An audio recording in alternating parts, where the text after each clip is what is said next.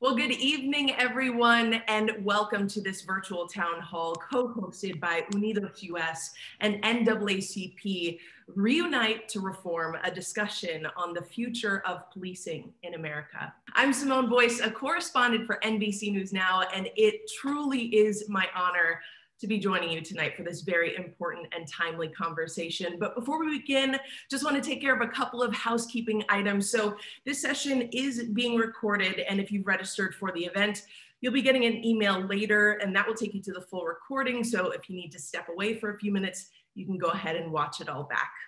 And the chat box for this discussion has been disabled, but you can still submit questions via the Q&A box. And also, if you happen to submit a question via the registration process, the good thing is all of those have already been incorporated into this conversation.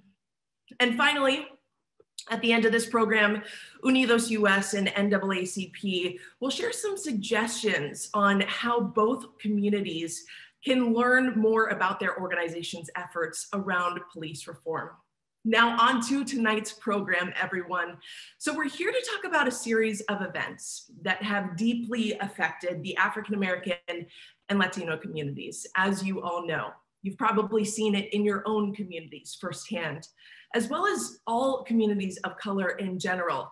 And that issue that we're talking about is the use of excessive force by police communities across the country came together a year ago this week to demand justice and police reform after the death of George Floyd at the hands of former Minneapolis police officer Derek Chauvin. Now, since then, we continue to bear witness to other deeply troubling incidents of police brutality around this country. So it is only fitting that today, coming on the heels of the one year anniversary of George Floyd's death and ahead of the introduction of the George Floyd Justice in Policing Act in the Senate that we welcome four noteworthy leaders who will help us navigate this conversation tonight. So without further ado, sharing your screens tonight are Congresswoman Karen Bass, representing California's 37th District, and co-sponsor of the George Floyd Justice in Policing Act. Congresswoman, welcome. We know that you have lots of negotiations and business that you could be tending to right now. So thanks for spending some time with us. Of course. We also have Congressman Jesus Chuy Garcia representing the 4th District of Illinois. Welcome, Congressman. Good evening. Delighted to join you. Chief Art Acevedo, chief of police at the Miami Police Department, and former chief of police at the Houston Police Department. Welcome, chief.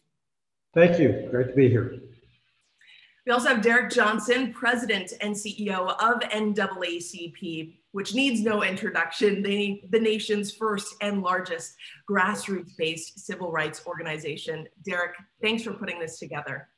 Thank you and Janet Murguía, President and CEO of Unidos US, another organization that really needs no introduction, but we're going to do it anyway, the largest Hispanic civil rights organization in the country. Thank you so much, Janet, for putting this event together with NAACP.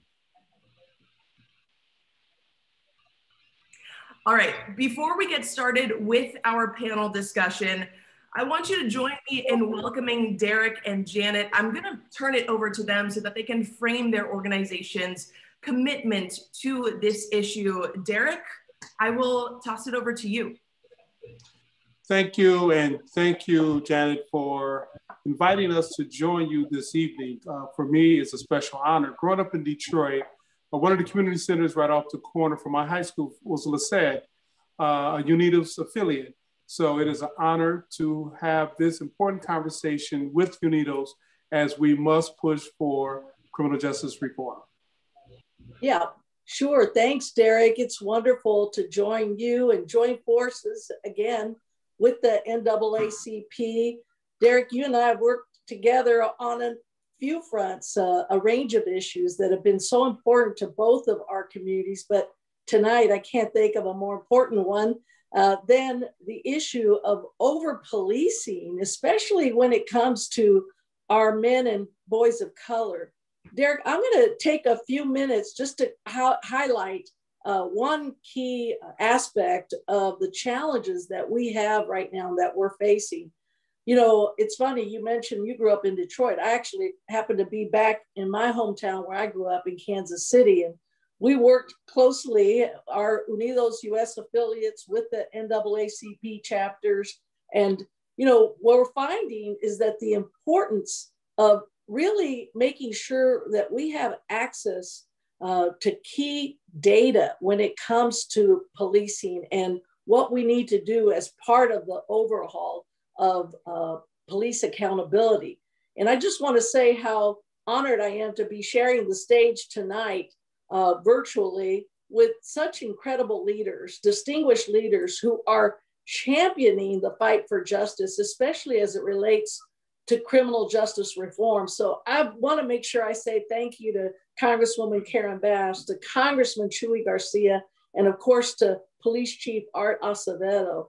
This is a really timely and important discussion, and I'm so glad that Unidos US and NAACP have been able to come together to present it uh, in this moment. Uh, as Derek and, and Simone have mentioned already, it's been a year since the murder of George Floyd. And, you know, we saw the marches for racial justice that poured out of every corner of the country last year. And it really began this in national reckoning uh, on race. And I think sparked ongoing uh, discussions examining how biases can permeate and are enforced by our systems and institutions and, and our discourse and how it's impacted it. And for us in the Latino community, the shooting, in particular one young, young boy, Adam Toledo, in March, who was just 13 years old in Chicago, was a stark reminder that over policing is an issue that deeply affects all of our communities, including the Latino community. And Adam's tragic death is just one of many that our community has experienced in the last few years. And what we have found is these have been underreported or not reported at all. And it gets back to this issue of data that is one of the elements we hope can be addressed. That's been confirmed by research that we at Unidos US uh, have done through our racial equity initiative that we released today and that we conducted in conjunction with the RASA database project. Our preliminary findings have shown that while communities of color represent 40% of the US population, we are 60% of those who have died in interactions with the police. Blacks represent 20% of those killed, while Latinos were the second most likely to be killed at 17%. Yet, what the research demonstrated overall is that, in fact, the number of law enforcement related deaths are far greater than what other analysis and databases have found. For Latinos alone, the underreporting is estimated at 24%. For us, what we know is happening because of over policing is already horrifying. And the implication that it is actually far worse than we thought is really so mind boggling. Uh, if the problem is understated, we're not only allowing law enforcement to escape full accountability, we are working towards solutions without having an accurate understanding of the facts. And that is unacceptable. So I know that you all are working hard to get a solution on this, in particular, Congresswoman and Congressman uh, Bass and, and, and Garcia. You know, one of the points I really want to stress is that we can no longer rely on an ad hoc patchwork system of reporting. We need to federally mandate the collection of disaggregated use of force data that also catalogs ethnicity along with race and other demographic characteristics. And that is one of the reasons we strongly support your efforts to achieve a solution and to support the George Floyd Justice in Policing Act, a, a comprehensive policing reform bill that that we know we need. Uh, it's passed the House. We need action in the Senate.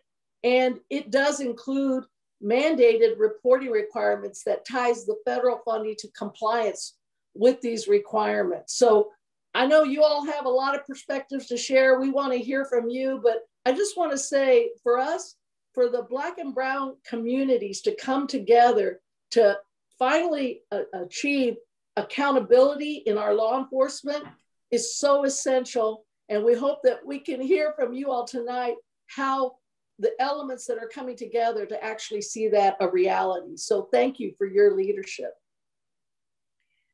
Janet, thank you so much for those remarks. And I really, really appreciate that you brought up the lack of data and research. This is something that affects the gun violence issue too, and so many issues in our community. If we don't have the data to diagnose the problem, we can't accurately prescribe solutions. So that is such an important um, uh, aspect of this conversation to bring up. And I hope that we can get into some of that in our discussion. But first, I want to talk about why we're here tonight. This, in, this intensified focus on police reform is in many ways tied to the killing of George Floyd and the first year anniversary, which was just two days ago, and, and the protests for racial justice that followed, and the tremendous support and momentum that we saw in the months that followed. But according to the New York Times, support for the Black Lives Matter movement has dropped since then, particularly among Republicans and white Americans. So, Congresswoman Bass, I, I want to start with you. What does that mean for the future of this movement for police reform? And, and where do you think the movement should go from here? Well, well, first of all, let me just thank you for including me in this and for the work of Unidos and in the NAACP, because this is a this is our issue. This is a black brown issue. Whether you are talking about criminal justice reform from soup to nuts, from arrest while you're incarcerated and what happens after, it is our communities that are overrepresented. And so if we simply do the math, if we are united, we are so much more powerful. Now, I know from my good friend and colleague, Chuy, Chuy and I grew up, him in Chicago, me in Los Angeles, always united with uh, our respective communities and our respective issues. And so I'm not surprised that Black Lives Matter has gone down with Republicans. I'm not sure it was ever high with Republicans. I mean, considering that we had a white supremacist in the Oval Office for four years, why would we be surprised that the party that represents him would not be supportive of the Black Lives Matter movement? So that makes a lot of sense to me. Where we have to go forward, number one, we need leaders like Chief Acevedo, because, and saying that it is not all law enforcement, there are law enforcement leaders like the chief who understand that reform is needed and actually reform not just helps our communities, but it also helps the profession. And so, where we go from here, we absolutely have to have the George Floyd Justice and Policing Act, but it is the starting point. We know that there's an uptick in violence in our communities. And so, what I'm deeply concerned about now is that we not run out of time. We're getting ready to get close to summer. We know what happens in our communities in the summer. And if there's an uptick in violence, then it becomes an excuse to say, we don't need police reform. Those communities need to be, need to have more suppression. And so I think that we need to persist. We need to view the struggle as a long term struggle. I know Chuy and I have been in this struggle for decades.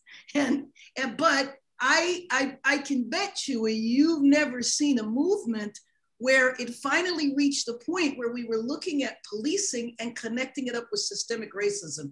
And I hope we never refer to Adam as a young man because a 13 year old is a child and we need to keep emphasizing the point that a child was murdered after he raised his hand. So thank you very much for the opportunity to be with you here today. Congressman Garcia, I, I, want to piggyback on something that the Congresswoman just said. Does it feel like we are at a precipice? Does it feel like we're at a different moment in history when it comes to advocacy around police reform? Uh, without a doubt, uh, we are in a different uh, place. The death of George Floyd uh, was and continues to be a watershed moment. Uh, it's an incredible thing to see. New energy, new faces, uh, new people, uh, young people at the rallies, uh, especially. But we've got to, you know, remind ourselves that these killings continue to happen over and over again, and many have uh, since that time. I also want to underscore yesterday would have been Adam Toledo's 14th birthday. Today, a mural was unveiled in his memory and the announcement of an organization that seeks to um, address the needs of young people in our communities, especially the community where he uh, lived at the time of his death. So we're definitely in a different place. And let me just say, in Chicago, there is an effort to pass legislation at the city council level that would create a civilian controlled review body uh, in Chicago to ensure that there's more accountability, more transparency. And it's come about after more than two years where a consent decree has been stalled, uh, a series of implementation uh, hurdles have uh, prevented its implementation, and that needs to move forward. It, the consent decree uh, was crafted over two years ago, but it hasn't been implemented. The Department of Justice under Trump opposed its implementation. Hopefully now, and today we've sent a letter to the Department of Justice asking the department to change its position and to help move forward the implementation of that consent decree. But we're talking about what public safety should be like in today's society and what kind of uh, uh, practices should guide police officers in their communities and what is the role of the community as it relates to accountability and transparency in the process. The system is you know, under tremendous strain. It needs to be reinvented so that we can build trust and accountability, and of course, address the underlying causes of much of the violence, including much of the police violence that we see in communities all over the country. Art, I want to bring you into this conversation. And you have to make a promise to me that the next time we talk about this topic, it's going to be over cafe con leche with some palm trees in the background because I grew up in Miami and I'm missing that Cuban coffee. Well, you, you got it. It's always on. So come visit soon. Okay. I got I got very um, excited when I saw that you were going to be a part of this conversation because it just feels like so often activists and people who support criminal justice reform, police reform are talking to each other in one corner. And then you have law enforcement and people who fly Blue Lives Matter flags talking to one another in another corner. And there's very little dialogue between these two groups. But the reality is, in order for there to be some solutions, there has to be dialogue. And so I'm really glad that you're here with us today. What is the temperature like in Miami, in your community, and also among your colleagues in law enforcement when a word like reform comes up? I mean, how, what is the support like? What is the reaction like to that word in your world? Well, I think uh, as a result of George Floyd's death for the first time in my 35 year career, when you hear the word, word reform, more voices are coming forward in law enforcement, even some of the labor voices that traditionally don't ever want to utter that word or say that they want any reform. That for the first time in my career, uh, I think there's some synergy uh, that we are engaging. I can tell you, as president of Major State Chiefs, we're engaging very closely with both sides of the aisle to try to get reform. Because when you have 18,000 police departments, 17 to 18,000, depending on who you ask, because we don't even have accurate data on that, uh, you cannot have 17, 18,000 different ways of doing business because what happens in one city impacts all cities. Uh, and so we are ready for reform. We're working very closely uh, with the congressional uh, leaders uh, on reform, and we're very hopeful that, uh, actually, not hopeful, I think we're demanding reform like the rest of society. We made a promise to those young activists in Houston when I marched with them for, for days this summer that we were going to be their voices and we're going to continue to be your voices because reform is good. It's good for the community. It's good for the vast majority of police officers that are honorable, professional uh, servants. Uh, and uh, at the end of the day, it's good for trust, which is a win for everybody. I'm going to move on uh, to a little bit of a, a, different area of this conversation now. So th these calls for racial justice include calls to recognize with the racialized history and origins of our law enforcement bodies. Now, looking across our justice systems, we also see an overrepresentation, Janet, like you have brought up, Congresswoman, like you have brought up, like we've all been talking about here today, of Black and Brown individuals, including in rates of stops, arrests, and incarceration. And I feel like a lot of times that's where this conversation falls short. It's it's we we tend to focus on the killings, the the incidents of police brutality that involve death and that lead to death. But there are there's so much to talk about when it comes to stops when it comes to racial profiling and arrests and mass incarceration. So how has the evolution of our policing practices and institutions contributed to this overrepresentation? Um, congressman garcia do you want to start?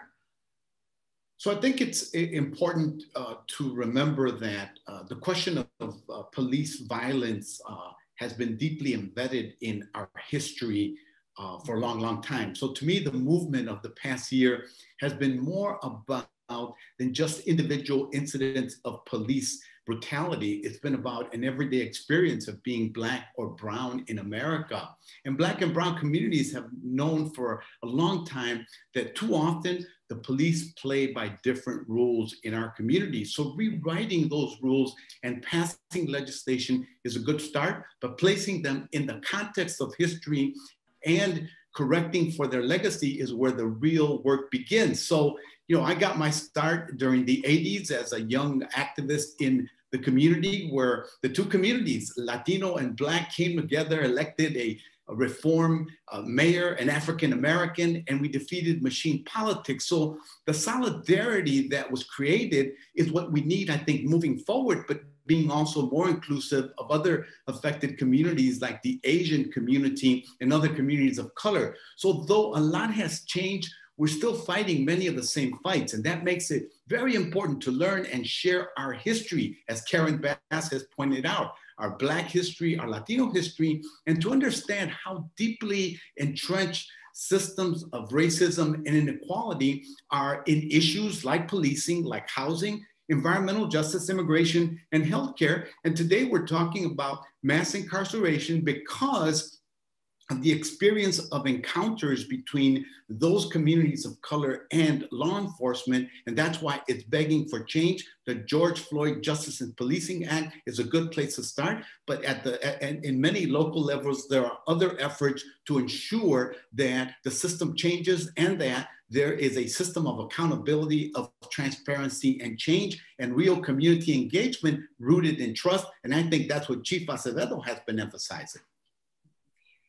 Derek, the NAACP is an institution in Black and Brown communities, and I want to talk about the impact um, that police violence has on communities of color right now. Um, you know, when you look at Daunte Wright and the shooting of Daunte Wright, there was a connection to George Floyd's family, to, to George Floyd's inner circle. One of George Floyd's former partners was actually Daunte Wright's teacher. So this goes to show the generational impacts of police violence on communities of color. Would you speak to that a little bit more? Sure. So we are at, at, at an inflection point. For the first time uh, there is the necessary alignments to begin to reform policing.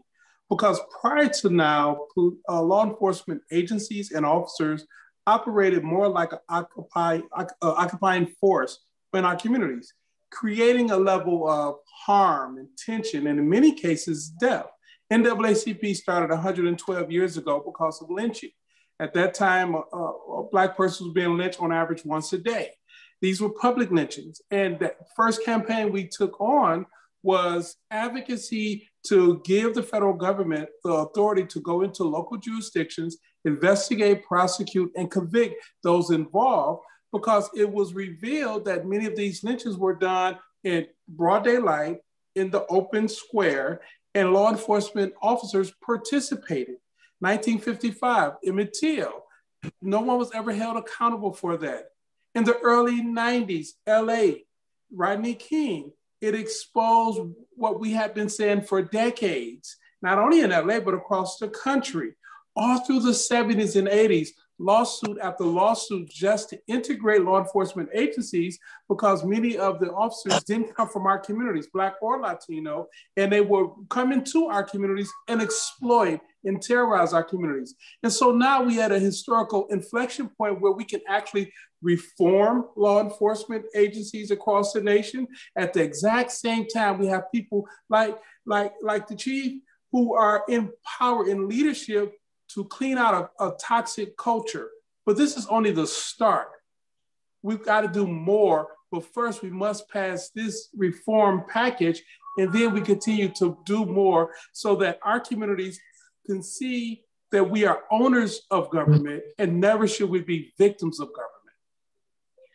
Art, do you think that law enforcement agencies across the country are ready to acknowledge the racialized history of policing? Well, I think that you've had I think you've had a, a, lot of agencies and a lot of leaders acknowledge uh, the inequities of the past and, and the inequities of the present.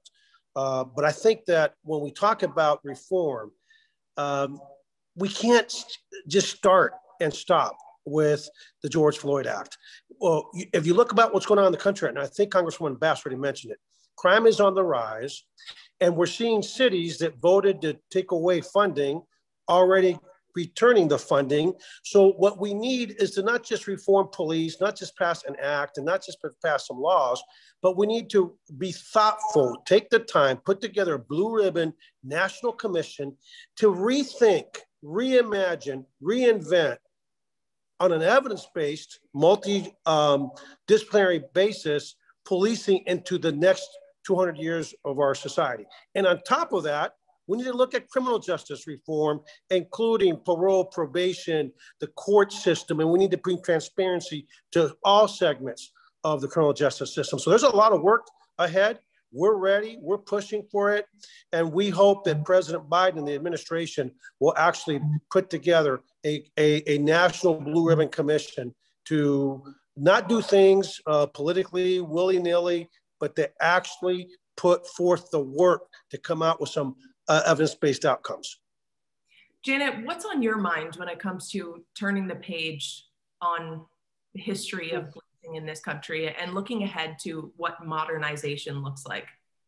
Well, I, I so appreciate the leadership of Congresswoman Karen Bass and Congressman Chuy Garcia because they bring a real world perspective in seeing the pain and trauma that's been imposed on our communities and the understanding that we have to redefine what public safety means and how we fund public safety and understand that there may be broader uh, reforms that really get at the root of services that can best be supported uh, in communities that include uh, access to mental health services, access to substance abuse services, uh, access to housing, as Congressman Garcia mentioned, we need to make sure that we're looking holistically at our systems and that they're representing really and centering on the dignity and the support and health and well-being of our communities.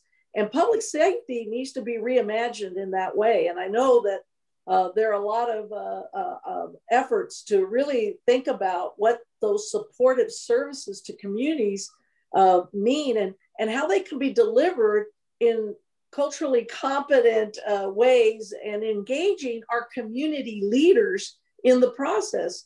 You know, uh, Derek relies on his chapter presidents at the NAACP. Well, we at Unidos US have a network of community based organizations that are part of our affiliates, and they're on the ground engaging. Uh, in Chicago, we have Instituto Progreso Latino. We have the Resurrection Project. We have numerous organizations with leaders that need to be heard when it comes to these reforms because those kinds of efforts to just support militarization of our police force have to be rethought and really broaden the support that communities uh, need and really take a new approach to public safety. I just again, this effort around segregating data so that we actually get the reports.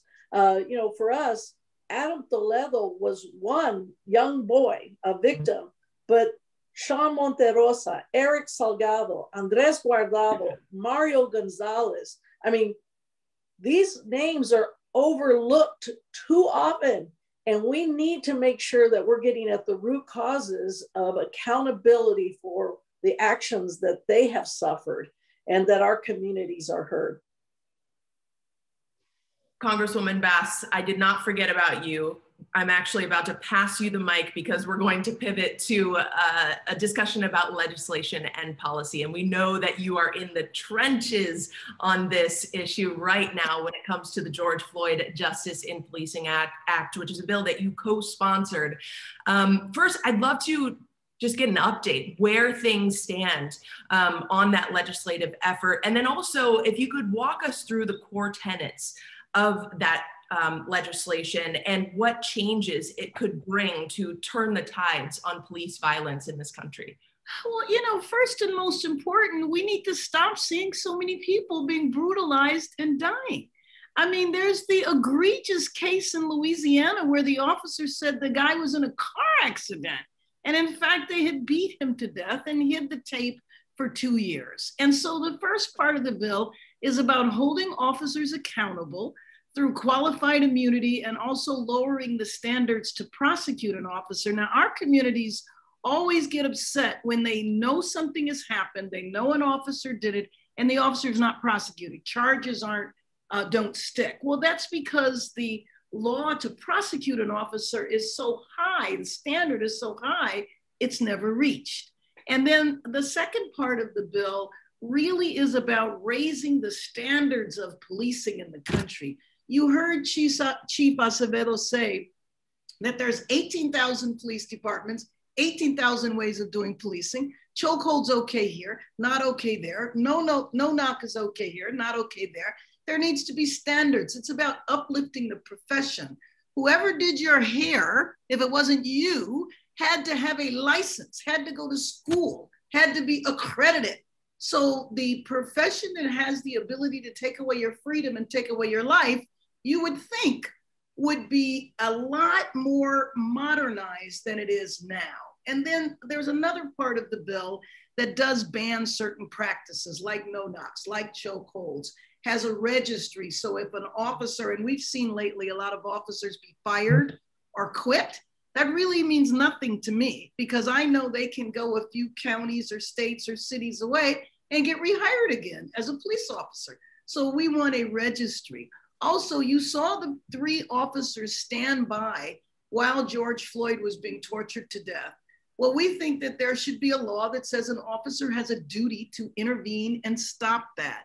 The final part of the bill actually provides grants to communities to re envision public safety, like Janet was talking about, because what has happened in our community over the last several decades is we have divested from social safety health, and economic supports. And then we dump everything and expect police officers to solve all of society's problems and health problems. So if I became a police officer, I don't think I would become a police officer so I could deal with mental illness. But we know a lot of officer involved interactions that result in uh, death or, or serious injury are with people who are in a mental health crisis. So since we divested or defunded mental health services, we expect the police to pick up the pieces. So that's the bill in the essence. Talks are ongoing. I do believe I, uh, my, my Senate Republican colleague, Tim Scott, tweeted out yesterday that uh, it's June or bust. And I thanked him today because I like saying that we got to get it done. Because of crime rising, I'm very worried that then, you know, that's going to be an excuse not to do anything. Congresswoman Bass, can you elaborate a little bit more on, on what enforcement of this act would look like? Because it's one thing to create federal guidelines, it's one thing to ban a practice at the federal level, but how do you ensure that state and local agencies follow suit?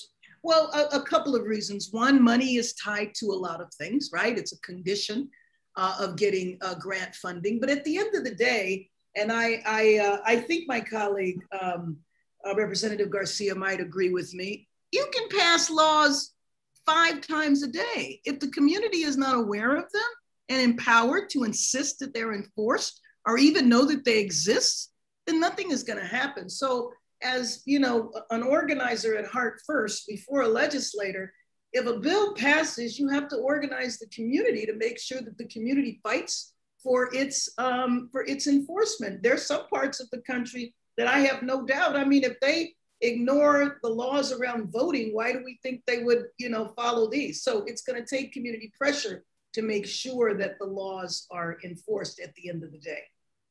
Congressman Garcia, I'd love to hear you talk about that from your perspective and, and the lens that you have on your community. Well, I think that um, the key provisions of the uh, George Floyd Justice and Policing Act are very uh, important. At the local level, uh, other things are important too. Civilian oversight of police in some manner is very important. And this is a big topic being debated in Chicago today. I think uh, we're going to have an ordinance that ushers in that type of accountability. People want to put community back into public safety and community policing. So if we're serious about transformative change, We've all got to listen to people's concerns and address them. It is unacceptable for leaders of unions, for example, to refuse to acknowledge that in Chicago, people have been tortured at the hands of the police. It's been documented, it's been proven. Court cases in so many instances have proven it. Uh, people have been incarcerated for 10, 20, 30, more years wrongfully because of those practices. So there's a huge cultural aspect as well to all of this. There's that narrative about being tough on crime and how supposedly it keeps people safe. We've seen that narrative fail time and time again. And militarizing the police to the teeth doesn't make communities safer. And seeking to polarize and pit people against each other to say that this is some kind of a grandiose plan, that everything was fine, just won't cut it anymore. It's time for transparency, it's time for accountability, and it's really time to figure out what ought to be public safety in our day and age. And that's why these movements for racial justice and against mass incarceration are driving this debate. The, the, the, important thing will be that outcomes actually happen at the federal level, at the state mm-hmm. level, and certainly at the local level where you might say the rubber meets the road. Art, I would love for you to weigh in on this concept of accountability. As Congresswoman Bass mentioned, you know, it's one thing to pass a ban on a certain police practice like a chokehold, but it's it's another it's another thing entirely for that ban to actually be put into practice and to be followed on the local level. I mean, we saw this with Eric Garner, the police officer who killed him used a banned chokehold. So, Art, uh, how, what does how does accountability um, fit into this equation of police reform? I mean, we see police officers who violate the very laws that they are supposed to follow, but yet they never face legal penalties and they often get to keep their jobs. I mean, what needs to change here um, from a policy perspective? And maybe it's not policy, but how do you think uh, communities should be able to hold their officers accountable for their actions? Well, no, first of all, I think that uh, my, I, I, talk about accountability a lot, but accountability starts and ends with the police chief. Uh, starts and ends with the executive. The, the problem with policing, to be quite honest with everybody, it isn't the cops. I mean, I've been a cop for 35 years, and you compared today's officer to officers 35 years ago, uh, we've come a long way. The problem with policing is that when bad policing happens, we have too many police chiefs that don't hold the, the folks accountable. We have too many captains, too many assistant chiefs, too many people wearing stripes, stars, and bars uh, and stars that aren't doing their job. And so, in terms of uh, if Congress passes requirements, I was required uh, by state law to certify, uh, to, to as a police chief, certify certain things for funding at the state and at the federal level. Uh, and if I certified that uh, and it wasn't true and we weren't doing it in terms of banning these policies or having these policies, uh, I would be committing a crime. So there are tools available uh, for them to do that. But but I but I have to just push back on one thing because there's you know, we do, we are holding some officers accountable. I can tell you, I fired 240 cops in Houston, ran them out. 240 cops fired or they resigned in lieu of being fired.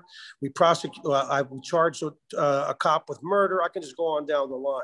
So accountability is happening. And the difference between the places where it's happening and where it's not happening is leadership. Uh, quite frankly, we've got to look at police union contracts. I can't begin to tell you how many how many elected bodies have given away the storm to unions, have given away management rights to unions? I have to provide in the state of Texas and the state of Florida before I can interrogate an officer, interview an officer. I've got to give them all the evidence against them. That, they get to read the whole package against them. Police chiefs didn't do that. That was elected officials. So communities need to start paying attention to the contracts that that uh, that councils and uh, county government and state government give the police uh, uh unions, and they need to start holding police, uh, uh, start holding elected officials accountable for these contracts. That, quite frankly, instead of protecting bad, good cops from maybe bad politicians like would have happened during the civil rights movement. We had a bunch of racist mayors probably telling cops, you better go stop them people trying to cross the bridge or else you're fired. That's what they should be protecting uh, cops against, not uh, what we have set up, which is protecting bad cops instead of uh, just uh, giving people due process. So we've got to look at contracts. We've got to put in some teeth to the laws that say that if the chief certifies something, uh, or the uh, or the mayor or the executive of a city certifies mm-hmm. something, and they're not telling the truth, that they're committing a crime. So there's ways to put those teeth in. But let me just say one thing real quickly about the militarization issue.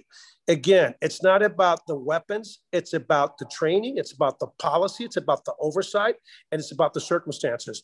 Congress has yet to reel in this proliferation of firearms in this country, and we need to have good cops, well trained, well, well led, uh, because in Dayton, Ohio, without that patrol rifle uh, last year, uh, if uh, when a guy already has shot and killed a bunch of people, that officer was able to take out that suspect with a 100 round drum magazine that was about to go into a crowded bar. So we got to be real careful that we don't throw the baby out with the bathwater and we don't confuse accountability and leadership uh, with let's just uh, throw everything out. So we got to be careful. And the last thing on civilian oversight, look up the Nicolas Chavez Jr. officer involved shooting where we are my men killed a young man that was high as a kite, but in emotional distress. I fired a sergeant and four off and three other officers, and my citizens panel wrote a nine-page handwritten letter saying that I shouldn't. Not only should I not fire them, I shouldn't discipline them. So you got to be very thoughtful. I'm, I'm willing to be held accountable for my decisions as an executive, and so I think there's uh, there's sometimes unintended consequences if we're not thoughtful on these processes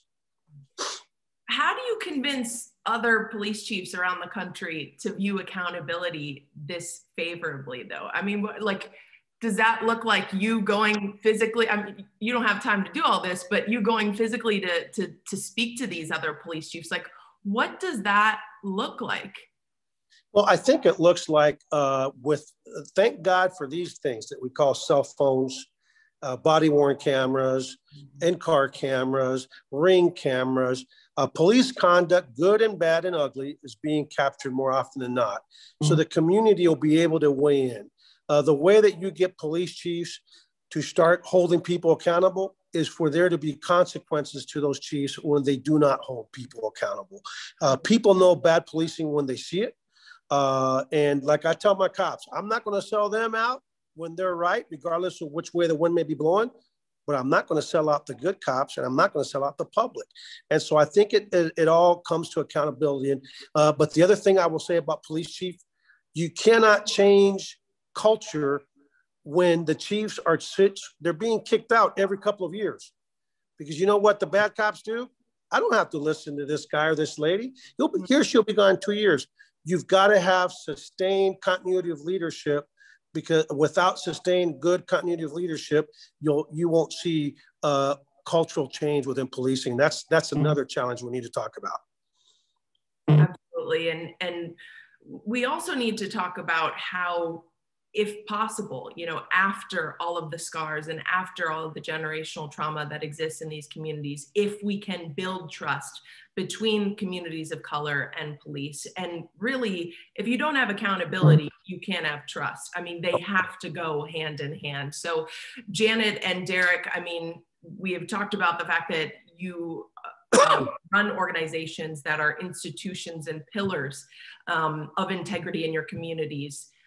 Is it possible at this point, given, given the racialized history that we talked about, to build trust between communities, communities of color and police departments?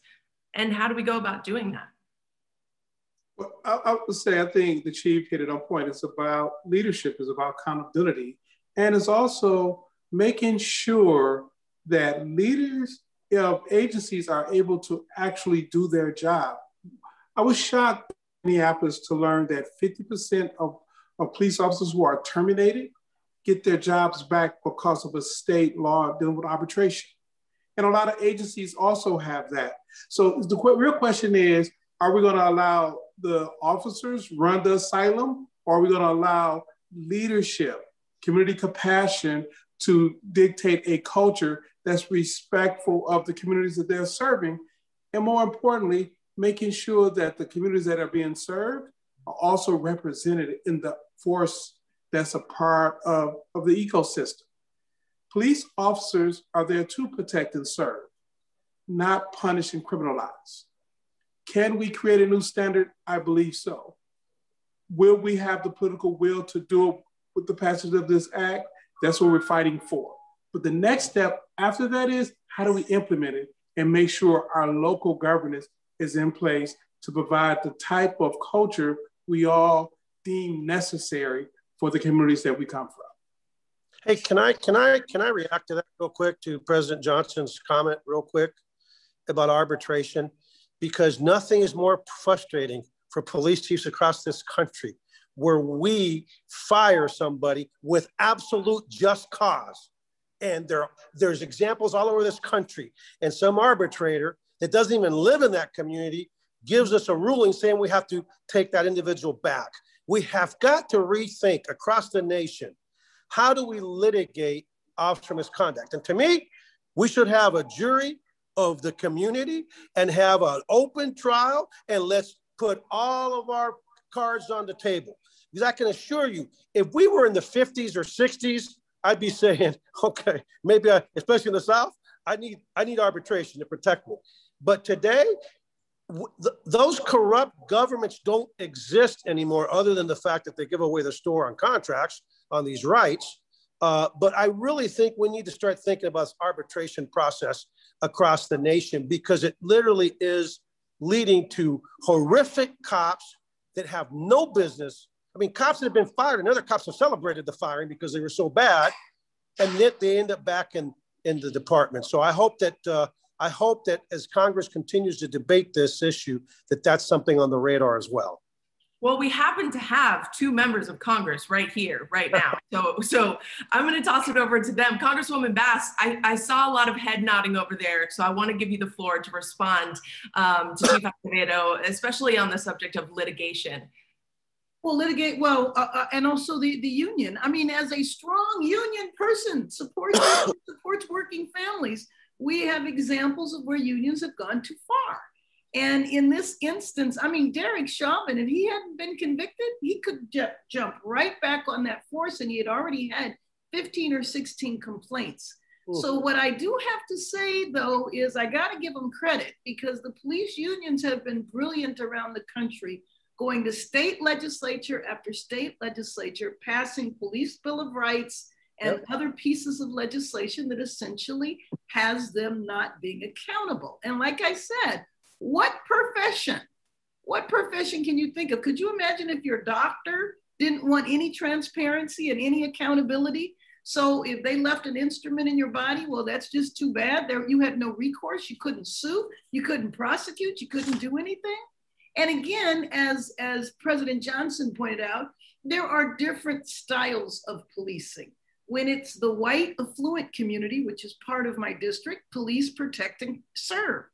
When it's the black and brown community, which is the other part of my district, they come in as warriors. and they treat us as though we're all criminals, period. It's completely different. And so we have got to change that fundamentally. And uh, it is a change in culture, as the chief said. And I think that's nothing, that one bill is not going to change policing in America. Nope. But nope. one bill will make a significant step forward and will send a signal that change is on the way. And because the movement was so large last year, a lot of change has taken place without us on the federal level, on the mm-hmm. state, county, and city level, and all of that needs to continue. Congressman Garcia, do you see trust? Uh, do you see any bridges being built in, in your community with law enforcement there? Right now, uh, we're in a challenging situation where building those uh, bridges and creating that trust is very challenging. It's really important that we uh, not lose sight of context uh, where these encounters are happening. And we cannot lose sight of the fact that for generations, uh, this investment from our communities uh, is the root cause of the cycles of poverty, violence, and hopelessness. So there's always you know, been money for police, but uh, not for education, for housing, or social services. So we have to reverse that cycle. I think the conversation we're having is moving us in that direction. Uh, for example, this month I introduced the Connecting Youth to Jobs Act, a bill that guarantees subsidized job opportunities for all youth who face barriers in employment as an example. But my bill isn't just about jobs, it's also about addressing the circumstances that make it uh, possible to get and keep jobs as it relates to young people. Because for generations, we've been struggling against this investment in our communities and a lack of opportunities for youth. So Latino and Black communities have endured this long-standing cycles of poverty, neglect, and violence. And in order for there to be comprehensive police reform and violence prevention programs, they're important parts of ending that cyclical violence and disenfranchisement. And we need a holistic approach to healthcare, including mental health, immigration, housing, education, to get to all of the root causes of this unequal opportunity for young people. That makes it a very challenging context. But there are also solutions on the horizon. The president's jobs bill, the American Jobs Act, as well as the family plan make these types of investment, will, which will create conditions in communities that create a better environment for the types of conversations that Chief Acevedo and that President Johnson and Janet have underscored are essential to getting more understanding and a reckoning of the experiences communities have faced all over the country. Art, uh, Chief Acevedo, I would love for you to, to weigh in on this topic. Um, when it comes to police reform, do you think that um, that divesting funds away from police departments, reallocating funds um, into community-focused services, is that a possible aspect of police reform? How do you feel about that? I mean, this would directly impact the work that you do on a day-to-day basis. Look, I, I, I, called it a false equivalence last summer when the defund the police uh, debate was going on because if you go into our communities where there's a problem with crime and you tell them, I'm going to reduce the number of officers, I am telling you, I've worked in those communities, I serve those communities, uh, you will be uh, screamed out of there.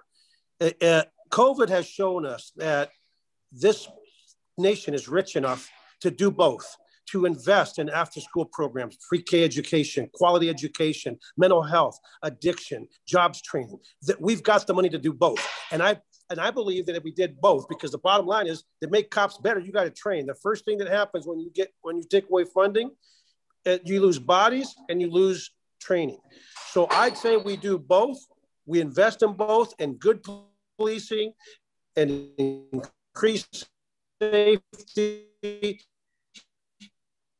and as we start uh, getting uh, the social economic force, because I really do believe, like uh, the congresspersons uh, have said, that uh, its lack of opportunity is a big part of the violence we see in our community. And so uh, if we need to invest in both.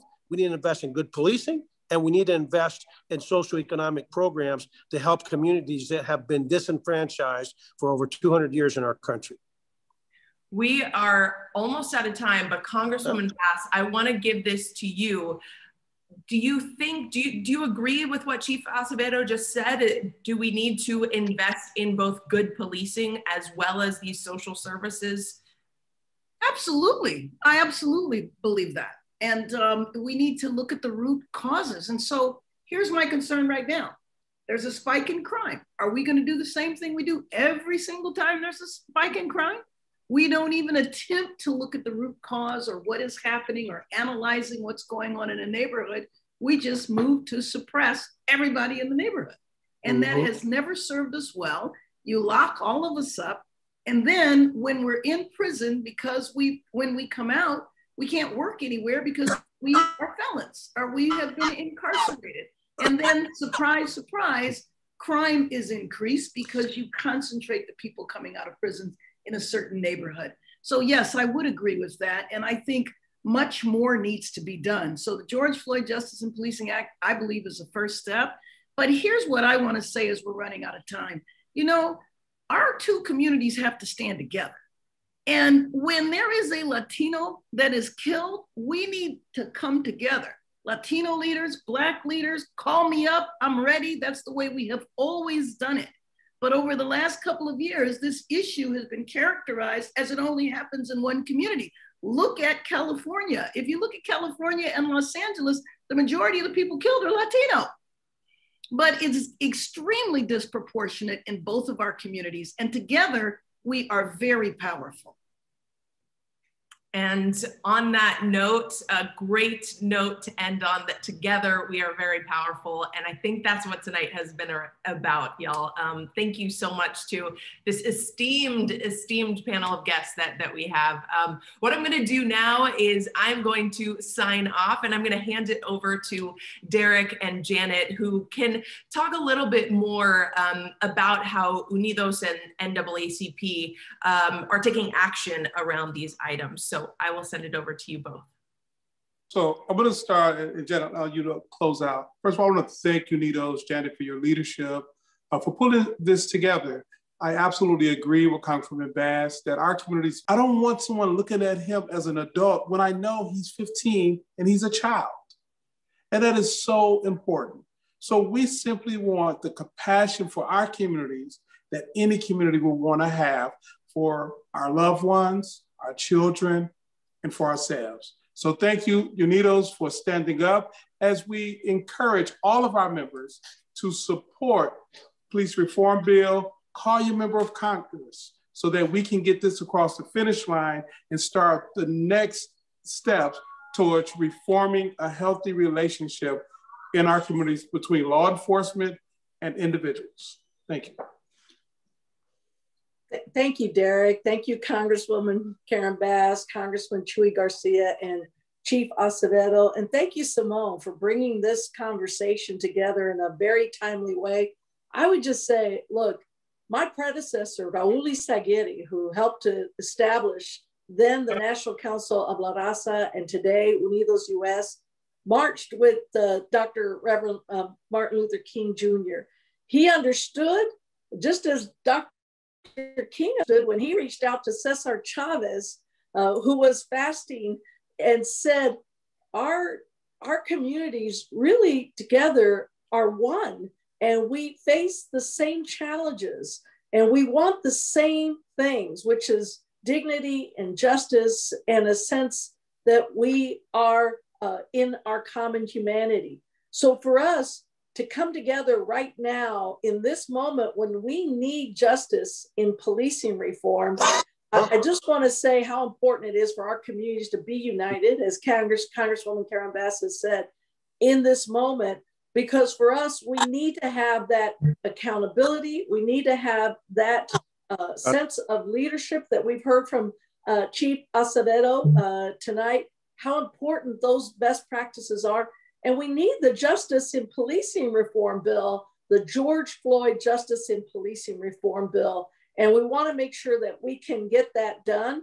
I hope that folks will go to the websites of the NAACP And also to Unidos US, uh, we have this report that outlines the number of Latinos and Blacks killed while in police custody, that it is much likely higher than reported. And I hope that you'll share that information. We put it out officially today, but we want to make sure it gets around. Follow both NAACP and Unidos US on social media as we continue to advocate for passage once and for all of this uh, particular uh, effort around the George Floyd Policing Act. We know we're on a long journey. We're, we're just getting started on the changes that are going to need be needed, uh, but this will get us on the right foot. Congresswoman Bass, Congressman Chuy Garcia, thank you for your leadership. And Derrick, thank you. We always welcome the chance to partner with the NAACP. Thank you all.